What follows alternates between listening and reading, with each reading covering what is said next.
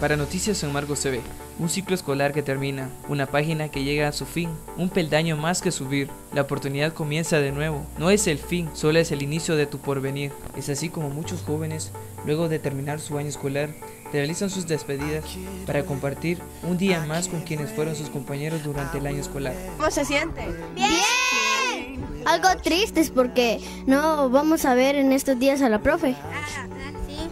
Yo estoy muy triste porque no voy a poder volver a ver a mis compañeros.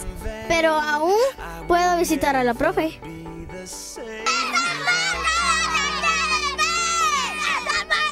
Cuéntenos cuál ha sido su sentimiento que ha compartido este año como maestro de inglés.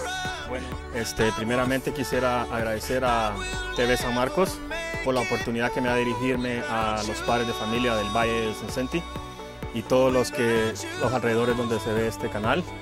Primeramente quiero decirles de que para mí ha sido un honor, un privilegio estar en, compartiendo con los niños de la Escuela Cándido Mejía la clase de inglés, ya que como ustedes pueden saber, en el futuro ellos van a tener que llevar esta clase para que ellos puedan graduarse en, en, cualquier carrera y todos ustedes saben la importancia que tiene el idioma inglés en nuestro, en nuestro medio.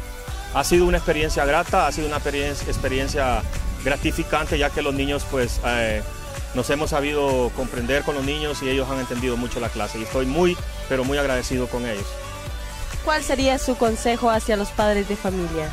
Bueno, el consejo que yo le puedo dar a los padres de familia es de que seamos pacientes con nuestros hijos, ¿verdad? Ya que a veces ellos nos, nos tratan de sacar de las casillas un poco y a veces perdemos nuestro control y a veces somos demasiado drásticos.